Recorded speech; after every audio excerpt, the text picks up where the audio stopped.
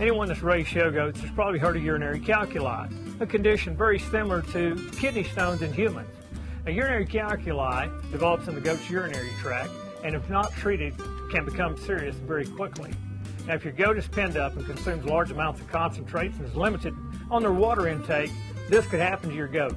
Let's hear from a vet, see what he says about this potentially deadly condition.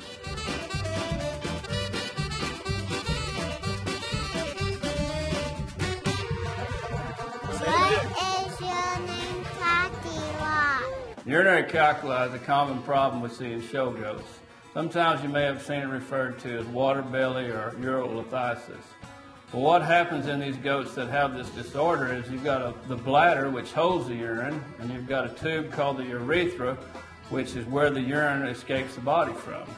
And when they have this condition, you have they accumulate stones in the bladder, and as these stones will sometimes become lodged in the urethra or this tube, at two different spots. One spot is called the sigmoid flexure, and the other spot is called the urethral process, which is right at the tip.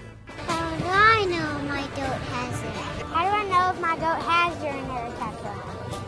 Well, you'll know if your goat has this condition is number one, you may go out to the uh, to feed him that morning, he might not want to eat. Number two, you may hear him groaning, or and or kicking at his belly. And one of the last conditions you can see is he may be even straining to urinate. And if he's doing that, you may see drips of blood and or urine in the pen. If you see any of these signs or conditions, this is the time you need to call your veterinarian and get him involved in the situation because this can progress real quickly. How do I treat urinary calculi?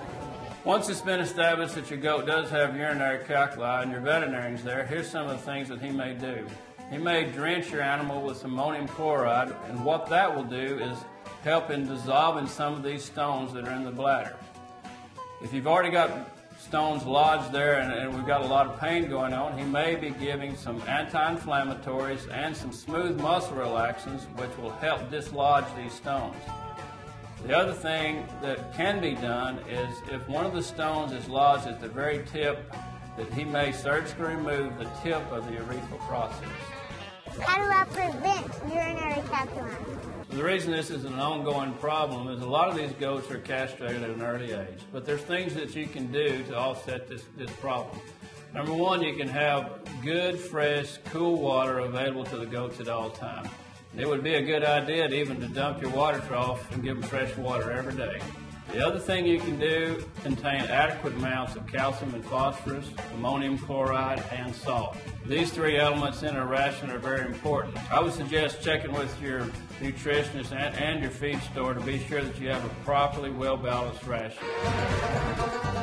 If you'd like to learn more about urinary calculi, you can go to stockshowconfidential.com. I'm Dr. Bobby Cobb, and you've been watching Tips from the Vet.